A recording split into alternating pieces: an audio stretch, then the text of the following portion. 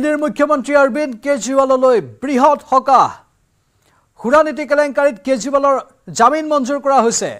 Rouse Avenue আদালতে মঞ্জুৰ কৰিলে কেজৰিৱালৰ জামিন।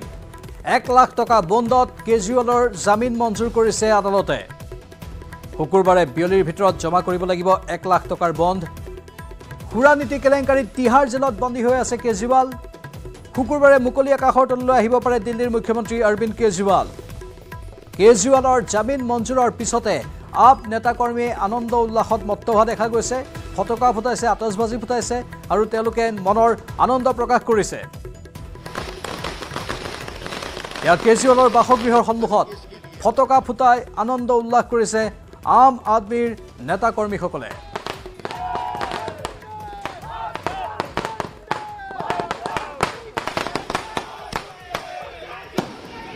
সুৰানীতি কেলেংকাৰীত একৈছ মাৰ্চত গ্ৰেপ্তাৰ হৈছিল অৰবিন্দ কেজৰিৱাল। দহ মে'ত কেজৰিৱালে লাভ কৰিছিল অন্তৱৰ্তীকালীন জামিন।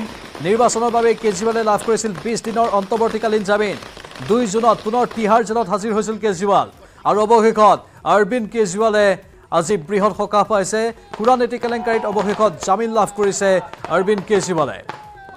উল্লেখযোগ্য যে জেলত যোৱাৰ পাছতো অৰবিন্দ কেজৰিৱালে মুখ্যমন্ত্ৰীৰ পদৰ পৰা আঁতৰা নাছিল।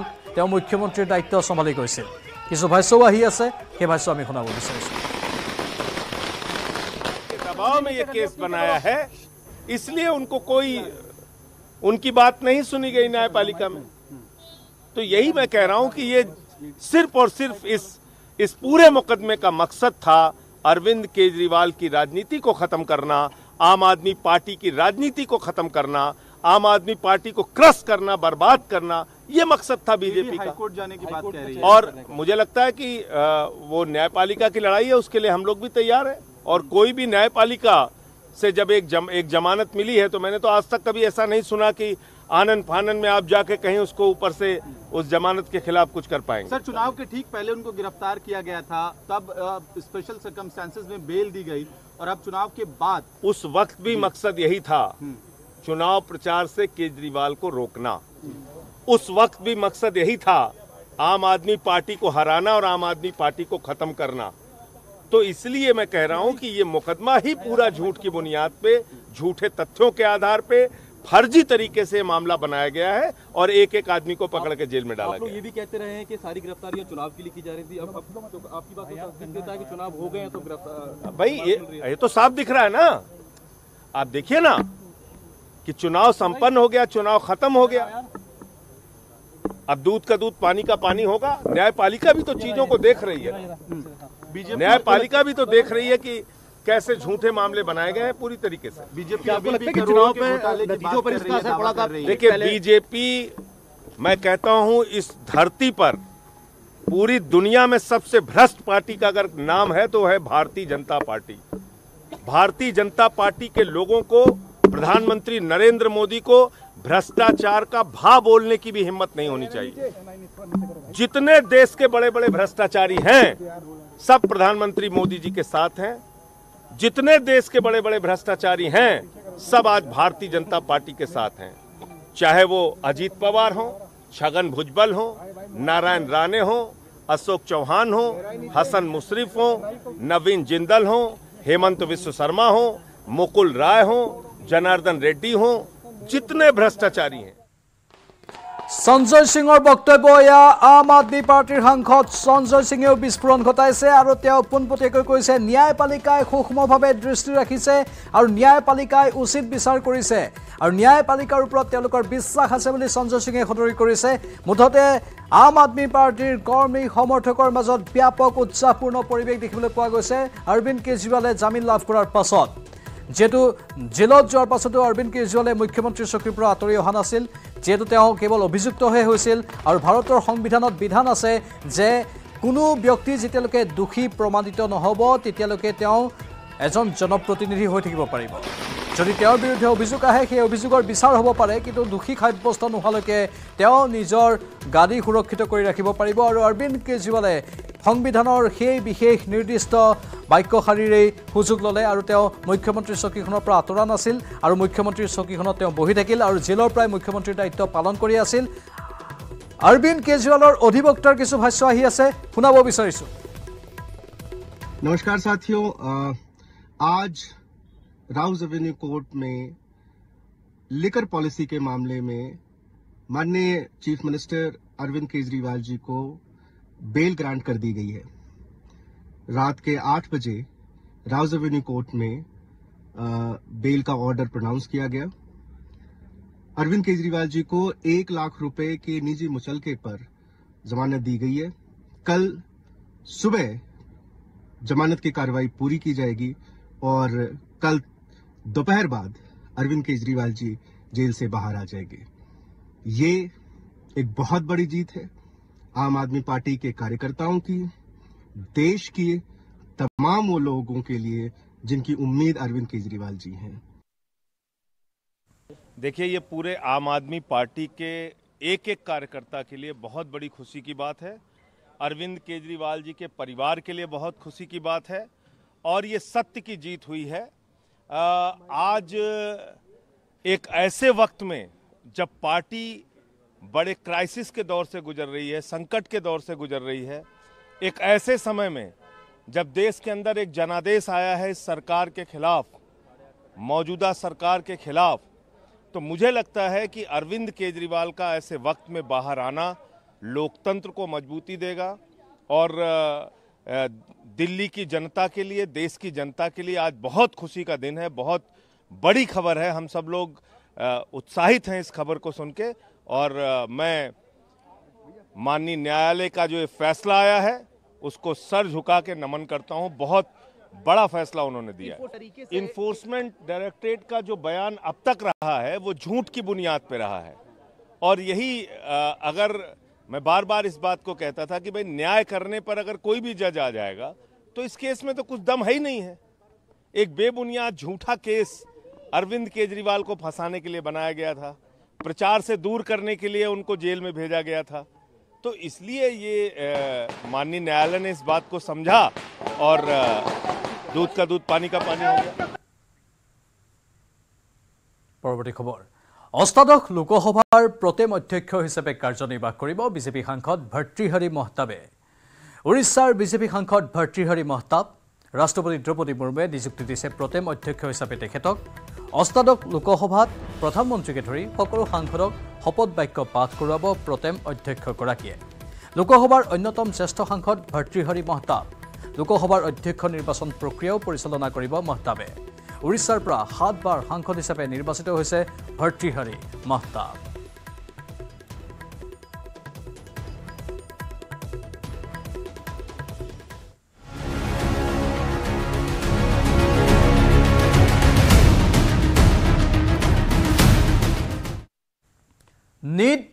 U G C NET বিসংগতিক লৈ দেশজুৰি তোলপাৰ হৈ থকাৰ সময়তে কঠোৰ হৈছে কেন্দ্ৰীয় চৰকাৰ। নিট আৰু ইউ জি চি নেট বিসংগতিৰ তদন্তৰ বাবে কেন্দ্ৰই গঠন কৰিব উচ্চস্তৰীয় কমিটি। দেশজুৰি উত্তাল প্ৰতিবাদৰ পিছতে সংবাদমেলত ঘোষণা কৰিলে কেন্দ্ৰীয় মানৱ সম্পদ উন্নয়ন মন্ত্ৰী ধৰ্মেন্দ্ৰ প্ৰধানে। কোনো অভিযুক্তক ৰেহাই দিয়া নহ'ব বুলি হুংকাৰ কেন্দ্ৰীয় মন্ত্ৰীগৰাকীৰ। এন টি এৰ কাম কাজ সন্দৰ্ভতো কৰা হ'ব তদন্ত। আজি দিনৰ ভাগত এন এছ ইউৰ এয়া ব্যাপক ৰূপত প্ৰতিবাদী কাৰ্যসূচী দেখিবলৈ পোৱা গৈছিল। কেন্দ্ৰীয় মানৱ সম্পদ উন্নয়ন মন্ত্ৰীগৰাকীৰ বাসগৃহৰ সন্মুখত।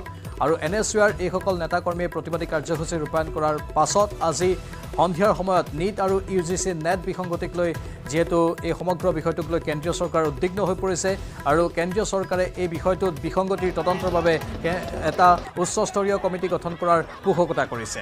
দেশজুৰি উত্তাল প্ৰতিবাদৰ পিছতে সংবাদমেলত ঘোষণা কৰিলে কেন্দ্ৰীয় মানৱ সম্পদ উন্নয়ন মন্ত্ৰী ধৰ্মেন্দ্ৰ প্ৰধানে কোনো অভিযুক্তক ৰেহাই দিয়া নহ'ব বুলি হুংকাৰ দিছে কেন্দ্ৰীয় মন্ত্ৰীগৰাকীয়ে এন টি এৰ কাম কাজ সন্দৰ্ভতো কৰা হ'ব তদন্ত।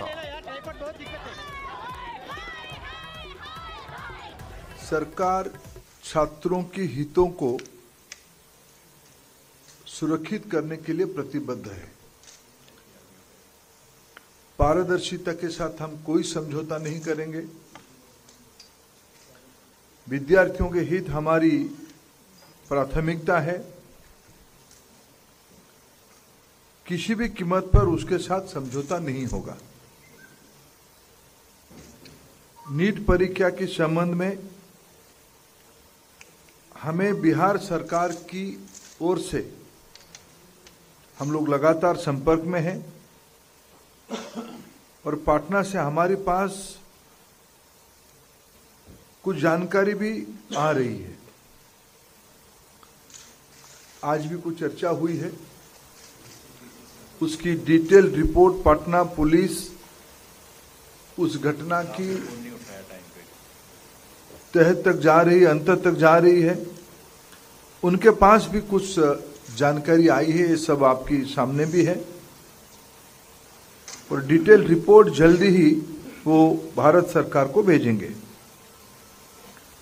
प्राथमिक जानकारी के अनुसार कुछ एरर स्पेसिफिक रीजन में सीमित है। मैं आपको विश्वास दिलाना चाहता हूँ पुख्ता जानकारी आने पर दोषियों को कड़ी से कड़ी उनके ऊपर कार्रवाई की जाएगी এইবাৰ জনাব বিচাৰিছোঁ লখিমপুৰ ঢকুৱাখনাৰ সুনীল গগৈ কাণ্ডৰ শেহতীয়া আপডেট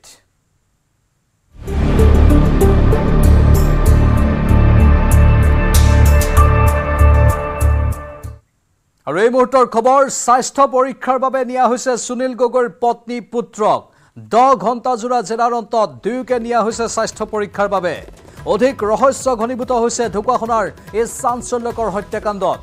বহু তদন্তৰ পাছতো নোলাল জাহাংগীৰৰ চিহ্নমুণ্ড জাহাংগীৰৰ চিহ্নমুণ্ড বিচাৰি আৰক্ষী এছ ডি আৰ এফে বৃহস্পতিবাৰৰ দিনটোতো চলালে তীব্ৰ অভিযান।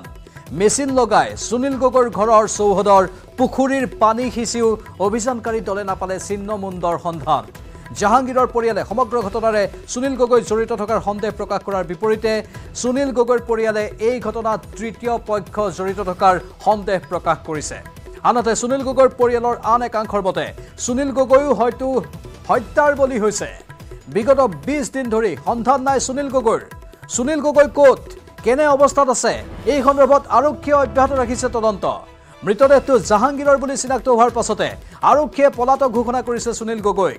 আনহাতে মৃতদেহটো জাহাংগীৰৰ বুলি চিনাক্ত হোৱাৰ পাছৰে পৰা সুনীলৰ পত্নী পুত্ৰ ভতিজাকৰ সৈতে আৰক্ষীয়ে পৃথকে পৃথকে অব্যাহত ৰাখিছে জেৰা। এদিন এৰাতি থানাত ৰাখি জেৰা কৰাৰ পিছত ঘৰলৈ যাবলৈ দিয়া হয় সুনীলৰ ভতিজাক জয়ন্ত গগৈক।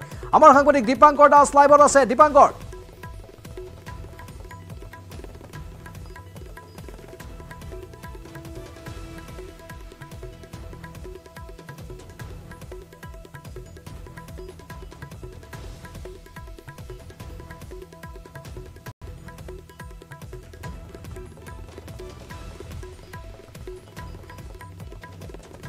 দীপাংকৰ শুনি আছে আপুনি? দীপাংকৰ অধিক তথ্য বিচাৰিছোঁ। প্ৰায় দহ ঘণ্টা সময় জেৰা আৰু তাৰপিছত পুষ্পা গগৈ আৰু সৌৰভ গগৈক আহ, ঢকুৱাখনা আৰক্ষীয়ে এই মুহূৰ্তত মেডিকেল কৰাইছে। অৰ্থাৎ ক'ব পাৰি যে হয়তো গ্ৰেপ্তাৰ হ'ব আহ, অঞ্জন আছে মোৰ অঞ্জনে দেখুৱাব। এই মুহূৰ্তত স্বাস্থ্য পৰীক্ষা কৰোৱাৰ পিছত এই মুহূৰ্তত সুনীল গগৈৰ পত্নীক এই মুহূৰ্তত দেখিবলৈ পোৱা গৈছে। সৌৰভ কি হ'ল দিনটো? কি ক'লে এবাৰ কোৱা এবাৰ কৈ। পুত্ৰ দেখুৱাইছো পুত্ৰকো বৰ্তমান। কি সুধিলে আপোনালোকক? বাইদেউ যাব দিব নে কি ক'লে? সৌৰভ কিবা দিনটো কৈছে? কি সুধিছে বাইদেউ? নাই নাই, নাই এনে এনে কি কৰিছে দিনটো কি কি কি সুধি আছে আপোনাক? সৌৰভ সৌৰভ কিবা ক'লে নেকি? যাব দিব কওক নে কি বাইদেউ ক'লে? আপোনালোকৰ লগত আমি একেলগে আছো আপুনি কওক। সহযোগিতা অকল দিনটো বহুৱাই থৈ দিছে? দিনটো বহুৱাই থৈছে? এতিয়া কি কৰিছে? এৰেষ্ট কৰিছে নেকি তেওঁলোকে? নাই কৰা এৰেষ্ট কৰা আপুনি সুধিছে নাই? আমাক এৰেষ্ট কৰিছে নেকি বুলি সুধিছে নাই? নাই কৰা। এৰেষ্ট কৰিছো বুলি কোৱা নাই। একো দিনটো অকল বহুৱাই থলে। হ'ব এতিয়া মোক প্ৰেছাৰ নিব মোক বিৰাট একেবাৰে কিবা লাগিছে একো নকৰোঁ ঠিক আছে ঠিক আছে। আছে দেখুৱাইছো। এই মুহূৰ্তত সুনীল গগৈৰ পত্নী আৰু পুত্ৰ এই মুহূৰ্তত আহ, স্বাস্থ্য পৰীক্ষা তেওঁলোকক কৰোৱা হৈছে। আৰু আচৰিত কথা যে যোৱা আমি যদি চাওঁ ৰাতিপুৱা দহ বজাৰ পৰা এতিয়া প্ৰায় নিশা ন বাজি উকলি গৈছে। আৰু প্ৰায় প্ৰায় দহ ঘণ্টাৰ সময় আশে পাশে তেওঁলোকক বৰ্তমান জেৰা চলাই এই মুহূৰ্তত তেওঁলোকক স্বাস্থ্য পৰীক্ষা কৰোৱাৰ বাবে লৈ আহিছে আৰু অঞ্জনে এই মুহূৰ্তত দৃশ্যাংশ দেখুৱাইছে। আমি দেখুৱাইছো এই মুহূৰ্তত লখিমপুৰৰ ঢকুৱাখনা অসামৰিক চিকিৎসালয়ত তেওঁলোকক স্বাস্থ্য পৰীক্ষা কৰোৱা হৈছে আৰু পোনে পোনে তেওঁলোকক এই মুহূৰ্তত লৈ যাব ঢকুৱাখনা আৰক্ষী থানালৈ। তাৰপিছত তেওঁলোকক যাবলৈ দিয়া হোৱা নাই কি? কিন্তু সম্পূৰ্ণৰূপে এটা মানসিক হেঁচাত তেওঁলোকক দেখিবলৈ পোৱা গৈছে। কাৰণ আৰক্ষীয়ে বাৰম্বাৰ তেওঁলোকক জেৰা চলাইছে। কিবা ক্লু পায় নেকি সেইটো বিষয় তেওঁলোকে চালি জাৰি চাব বিচাৰিছে। আৰু সেই দিশটোৰ ক্ষেত্ৰত কিন্তু আৰক্ষীয়ে আৰু কি কি ক্লু আৰক্ষীয়ে লাভ কৰিছে সেয়া নিশ্চয় লক্ষণীয় হ'ব। কিন্তু পুনৰ কৈছো যে আজি সুনীল গগৈৰ বাসগৃহত থকা দুটাকৈ পুখুৰী আজি সিঁচা হৈছিলে আৰু তাৰ পৰি তাৰ পিছৰ সময়ছোৱাত যদি চাওঁ তেতিয়াহ'লে আৰক্ষীয়ে নিশা পৰ্যন্ত কৈছো এতিয়া প্ৰায় ন বাজি উকলি গৈছে আৰু এই মুহূৰ্তলৈকে জেৰা চলাইছে আৰক্ষীয়ে স্বাস্থ্য পৰীক্ষা কৰাইছে কিন্তু গ্ৰেপ্তাৰ হ'বনে তেওঁলোকক যাবলৈ দিয়া হ'ব এয়া কিছু সময়ৰ পিছত ছবিখন স্পষ্ট হৈ পৰিব। নিশ্চয় দীপাকৰ লাইনত থাকক আপুনি আমি ইতিমধ্যে জনাইছোঁ যে এয়া সুনীল গগৈৰ পত্নী পুষ্পা গগৈ তেওঁৰ পুত্ৰ আৰু ভতিজাক আটাইকে স্বাস্থ্য পৰীক্ষা কৰোৱাৰ অন্তত পুনৰ লৈ যোৱা হৈছে। স্বাভাৱিকভাৱেই যথেষ্ট গুৰুত্বপূৰ্ণ এইখিনি সময় গ্ৰেপ্তাৰ কৰা হ'ব পাৰে নেকি তাক লৈও প্ৰশ্ন উত্থাপন হৈছে। অৱশ্যে এতিয়ালৈকে সুনীল গগৈৰ পত্নীৰ ভাষ্যও আমি শুনিছোঁ গ্ৰেপ্তাৰ কৰা নাই বুলি তেওঁ সদৰি কৰিছে কিন্তু পৰৱৰ্তী সময়ত আৰক্ষীৰ ভাষ্যও লক্ষণীয় হ'ব। যিহেতু সুনীল গগৈৰ বাসগৃহত অভিযান চলোৱা হৈছিল পেন ড্ৰাইভ জব্দ কৰা হৈছিল আৰু লগতে আধাৰ কাৰ্ড পেন কাৰ্ডো জব্দ কৰা হৈছিল। সেই সকলো আধাৰ কাৰ্ড আৰু পেন কাৰ্ড আছিল পুষ্পা গগৈৰে।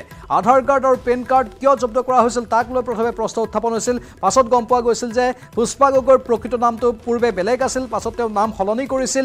এই সকলো বিষয় এতিয়া স্বাভাৱিকতে আৰক্ষীৰ তদন্তৰ আওতাত আছে আৰু তদন্ত এনেধৰণেই চলি আছে যে আৰক্ষীয়ে বিশেষ কথা সংবাদ মাধ্যমক ক'ব বিচৰা নাই। বহু কথা আৰক্ষীয়ে বৰ্তমান গোপনে ৰাখিছে। কিন্তু আজি দিনৰ ভাগত দেখিবলৈ পোৱা গৈছিল জাহাংগীৰ হুছেইনৰ চিহ্ন মুণ্ড বিচাৰি অভিযান চলোৱা হৈছিল আৰু সন্ধিয়াৰ ভাগত দেখা গৈছে যে সুনীল গগৈৰ পত্নী পুত্ৰক লগত লৈ আৰক্ষীয়ে স্বাস্থ্য পৰীক্ষা কৰাইছে।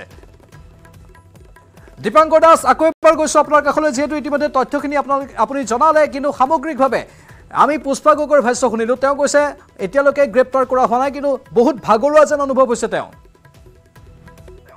নিশ্চয় প্ৰাঞ্জল চাওক যেতিয়া ৰাতিপুৱা দহ বজাৰ পৰা এজন লোকক আৰক্ষীয়ে মানসিকভাৱে হেঁচা দিব জেৰা চলাব তেতিয়া তেওঁৰ পৰিস্থিতি নিশ্চয় এঘাৰ ঘণ্টাৰ পিছত এই ধৰণৰ এটা পৰিৱেশ আমি দেখিবলৈ পাম। আৰু সেয়াও এটা ছবি আমি কিছু সময় পূৰ্বে আমি দৰ্শকসকলক দেখুৱালোঁ যে যেতিয়া তেওঁলোকক স্বাস্থ্য পৰীক্ষা কৰোৱা হৈছিল হস্পিটেলৰ পৰা তেওঁলোকক যেতিয়া থানালৈ লৈ অহা হৈছিল তেনে সময়তে আমি তেওঁলোকৰ মন্তব্য তেওঁলোকৰ মুখৰ মুখমণ্ডলৰ ছবিখন দৰ্শকসকলে দেখি অনুমান কৰিব পাৰিছে যে তেওঁলোকক কিছু প্ৰেছাৰাইজ কৰা হৈছে। কাৰণ যোৱা এঘাৰ ঘণ্টা সময় এক দুই ঘণ্টা নহয় এঘাৰ ঘণ্টা সময় কেৱল থানাত মতাই আনি বহাই ৰাখি মানসিকভাৱে তেওঁলোকক যিভাৱে হাৰাশাস্তি কৰা হৈছে সেই ধৰণৰ এটা অভিযোগ এই মুহূৰ্তত সুনীল গগৈৰ পত্নী আৰু পুত্ৰই উত্থাপিত কৰা দেখিবলৈ পোৱা গৈছে। কিন্তু এই মুহূৰ্তলৈকে প্ৰায় চাৰে ন বাজিব অৰ্থাৎ চাৰে এঘাৰ ঘণ্টা। অৰ্থাৎ ৰাতিপুৱা দহ বজাৰ লগে লগে ভগুৱাখানাৰ এইখন গেটেৰে এইখন যিখন প্ৰৱেশদ্বাৰ আছে এই প্ৰৱেশদ্বাৰেৰে তেওঁলোকে ভিতৰ ভাগত প্ৰৱেশ কৰিছিল।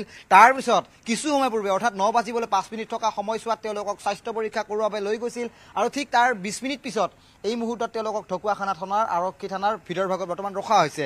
কিন্তু যদি আমি সমগ্ৰ ছবিখন চাওঁ তেতিয়াহ'লে তেওঁলোকক আজি থানাত ৰখোৱাৰ সময়তে আৰক্ষীৰ এটা দলে পুনৰ আজি দিন দিনজোৰা হিচাপে তেওঁলোকে সুনীল গগৈৰ ঘৰত তেওঁলোকে অভিযান চলাইছিলে। দুটাকৈ পুখুৰী তেওঁলোকে সিঁচি পুখুৰীৰ তলত যদি ছিন্নমুণ্ডা বা জাহাংগীৰক আক্ৰমণ কৰা কোনো কোনো অস্ত্ৰ এই ধৰণৰ ক্লু বিচাৰি কিন্তু আৰক্ষীয়ে এক প্ৰকাৰ পুখুৰী সিঁচা ধৰণৰ পৰিৱেশ আমি দেখিবলৈ পালোঁ। কিন্তু আৰক্ষীয়ে যে শূন্যতে এটা গদা ঘূৰাই আছে সেই ছবিখনে এনেকুৱা এটা আমাৰ অনুমান হ'ল। কাৰণ কিছুমান পূৰ্বে মই লখিমপুৰ আৰক্ষী অধীক্ষক আমি অপৰ্ণা নটৰাজনৰ সৈতে কথা হৈছিলোঁ তেওঁ স্পষ্টভাৱে কৈছে যে যদি কিবা প্ৰকাৰে ক্লু পায় বা কিবা প্ৰকাৰে তেওঁলোকে তথ্য প্ৰমাণ পায় তেতিয়াহ'লে নিশ্চয় পত্নী পুত্ৰই নহয় আন বহু লোকক তেওঁলোকে গ্ৰেপ্তাৰ কৰিব। মানে মানে এটা অৰ্পণা নটৰাজনৰ সৈতে আপুনি যিহেতু কথা পাতিছিল দীপাকৰ হস্তক্ষেপ কৰিছোঁ মাজতে। সুনীল গগৈ জীৱিত অৱস্থাত আছে নেকি? সেই সন্দৰ্ভত কিবা ক্লু পাইছে নেকি? কাৰণ বিছ দিন ধৰি সুনীল গগৈৰো কোনো সন্ধান নাই।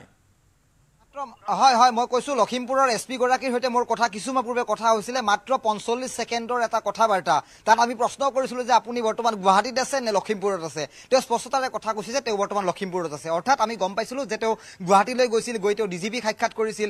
হয়তো তেওঁ আজি লখিমপুৰ আহি উপস্থিত হৈছে। দ্বিতীয়টো প্ৰশ্ন কৰিছিলো যে সুনীল গগৈৰ পত্নী আৰু পুত্ৰক দিনজোৰা জেৰা চলোৱা হ'ল তেওঁলোকক বৰ্তমান স্বাস্থ্য পৰীক্ষা কৰোৱা হৈছে তেওঁলোকক গ্ৰেপ্তাৰ কৰা হ'ব নেকি? প্ৰশ্ন কৰিছিলো। তেওঁ এটাই বাক্যই তেওঁ আমাক ৰিপ্লাই দিছিলে যে যদি কিবা তথ্য প্ৰমাণ পায় তেতিয়াহ'লে সুনীল গগৈৰ পত্নী পুত্ৰই নহয় বহু লোক গ্ৰেপ্তাৰ হ'ব।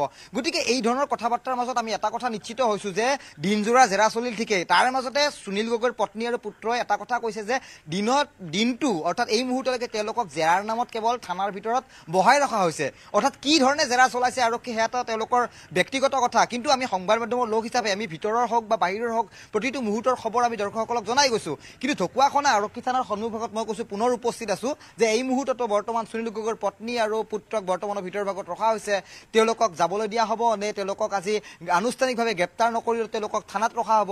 সেয়া কিছু সময়ৰ পিছলৈ আমি হয়তো সমগ্ৰ দীপাংকৰ কিন্তু। কিন্তু সুনীল গগৈৰ ককায়েকে কৈছে যে সুনীল গগৈকো হত্যা কৰা হৈছে তৃতীয় শক্তিয়ে হত্যা কৰিছে। এই তৃতীয় শক্তিৰ কথাটো হঠাৎ কিয় আহিছে? নিশ্চয় নিশ্চয় এই মুহূৰ্তত মই মই মই মই প্ৰাঞ্জল দেখুৱাম যে এই মুহূৰ্তত পুনৰ সুনীল গগৈৰ পত্নী আৰু পুত্ৰক এইদৰে লৈ অহা হৈছে। এক্সক্লুচিভ ভিজুৱেলছ কিছু মই দেখুৱাই আছো এই মুহূৰ্তত যে যিকোনো মুহূৰ্তত হয়তো তেওঁলোকক যাবলৈ দিয়া হৈছে নে আন এখন বাহনত লৈ তেওঁলোকক হয় আমি আমি দেখিম দেখিম। এয়া পুত্ৰ এয়া সুনীল গগৈৰ পুত্ৰ সৌৰভ। সৌৰভ হয়তো যাবলৈ দিয়া হৈছে। পত্নীগৰাকীক মই দেখুৱাম। এয়া যাব দিছে। সুনীল গগৈৰ ককায়েক আছে আমি ককায়েকৰ সৈতে আমি দিনত কথা পাতিছিলো। যাব দিলে চাগে ন? যাব দিছে। যাব দিলে। কালি আহিব দিছে চাগে? এয়া ডাঙৰ মই এটা ব্ৰেকিং নিউজ কওঁ যে কাইলৈ পুনৰ তেওঁলোকক থানাত হাজিৰ হোৱাৰ নিৰ্দেশ দিছে।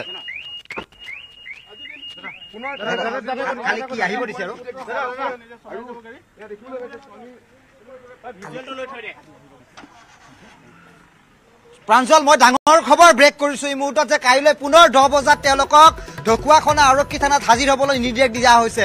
অৰ্থাৎ দুটাকৈ দিন প্ৰথম দিনটোত তেওঁলোকক ন ঘণ্টা জেৰা চলোৱা হৈছে আৰু আজি যদি চোৱাও তেতিয়াহ'লে চাৰে এঘাৰ ঘণ্টা তেওঁলোকক জেৰা চলোৱা হ'ল। এই মুহূৰ্তত সুনীল গগৈৰ পত্নী আৰু পুত্ৰৰ মই কিছু এক্সক্লুজিভ দৃশ্যাংশ দেখুৱাইছো। মোৰ লগত অঞ্জন আছে অঞ্জনে পৰিৱেশ দেখুৱাই আছে। কিন্তু পুনৰ কৈছো যে মই পুনৰ অঞ্জন আমি দেখুৱাই আছো আমি সুনীল গগৈৰ ককায়েকক দেখিছো। কিছু ফালৰি কাটিছে তেওঁলোকে নিশ্চয় কোনো কথা নাই। কিন্তু সেইগৰাকী ককায়েকে কিন্তু আজি আমাৰ নিউজ এইটিনৰ কেমেৰাৰ সন্মুখত তেওঁলোকে বিস্ফোৰণ ঘটাইছিল। তেওঁ কৈছিল যে তিনি মুহূৰ্তত দেখুৱাইছোঁ আন এখন আৰক্ষীৰ বাহন এই মুহূৰ্তত গৈছে। কিন্তু আমি সম্ভৱতঃ নকওঁ যে এইখন তদন্তৰ খাতিৰত তেওঁলোকৰ ঘৰলৈ যাব বা আন স্থানলৈ যাব সেই কথা আমি কিছু ফালৰি কাটিছোঁ। কিন্তু এটা কথা কৈছোঁ যে মই সুনীল গগৈৰ ককায়েক বা আমি পৰিয়ালৰ সৈতে আমি ইতিমধ্যে আমি বিভিন্ন ধৰণৰ মন্তব্য তেওঁলোকক জনাইছিলোঁ। দাদা এটা এটা মিনিট আমি বিচাৰিছোঁ। কালি মাতিছে তেওঁলোকক। কালি মাতিছে। কালি মাতিছে। এতিয়া ঘৰত যাব নে ক'ত যাব? পুলিচে যাব নেকি? পুলিচ যাব। পুলিচ যাব। গৈছে গৈছে। মানে পুলিচ কিয় যাব? ডাঙৰ কৈছো যে এই মুহূৰ্তত আৰক্ষীৰ দল বৰ্তমান সুনীল গগৈৰ ঘৰলৈ যাব। সেয়া হয়তো আন ক্লু পাব পাৰে। বা পুখুৰী খন্দাৰ নিচিনা হয়তো নাটক এখন ৰাতিৰ ভাগতো ৰচনা হ'ব পাৰে। গতিকে মই লখিমপুৰৰ আৰক্ষীয়ে যিদৰে বৰ্তমান শূন্যতে গদা ঘূৰাই তেওঁলোকে এই তদন্ত প্ৰক্ৰিয়া আৰম্ভ কৰিছে গোটেই জল জল পটপট হৈ পৰিছে প্ৰাঞ্জল ছবিখন। কাৰণ হয় দীপাংকৰ কাইলৈ পুৱা দহ বজাত পুনৰ সুনীলৰ পত্নী পুত্ৰ ভতিজাকক তলব কৰিছে আৰক্ষীয়ে। দহ বজাত পুনৰ আৰক্ষী থানাত হাজিৰ হ'ব লাগিব আৰু লগত আৰক্ষী যোৱা বিষয়টো স্বাভাৱিকতে আন কেতবোৰ প্ৰসংগ থাকিব পাৰে। সেয়ে নিশাৰ ভাগত আৰক্ষীৰ পহৰাৰ ব্যৱস্থা থাকিব সুনীল গগৈৰ বাসগৃহত। সেইবাবে হয়তো আৰক্ষী গৈছে সেইটো আমি অনুমান কৰিব পাৰিছোঁ। কিন্তু কাইলৈ পুৱা দহ বজাত আৰক্ষী থানাত হাজিৰৰ নিৰ্দেশ দিয়া হৈছে সুনীল গগৈৰ পত্নী পুষ্পা গগৈ পুত্ৰ আৰু ভতিজাকক। আকৌ এবাৰ তলব কৰা হৈছে। আজি প্ৰায় ন ঘণ্টাতকৈ অধিক সময় জেৰা চলিল আৰু ন ঘণ্টাতকৈ অধিক সময় জেৰাৰ পাছত তেওঁলোকক ঘৰলৈ যাবলৈ দিয়া হৈছে। অৱশ্যে নিশাৰ ভাগত আৰক্ষীয়ে তেওঁলোকৰ ঘৰত পহৰাৰো ব্যৱস্থা কৰিব। সেয়েহে হয়তো আৰক্ষীৰ এটা দলো তেওঁলোকৰ গাড়ীৰ পিছফালে গৈছে। সমান্তৰালভাৱে কাইলৈ কিন্তু সুনীলৰ পত্নী পুত্ৰ ভতিজাক আকৌ পুৱা দহ বজাত থানাত হাজিৰ হ'ব লাগিব।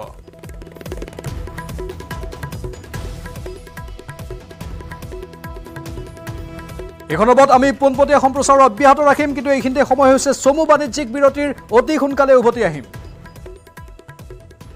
ton still. Oh,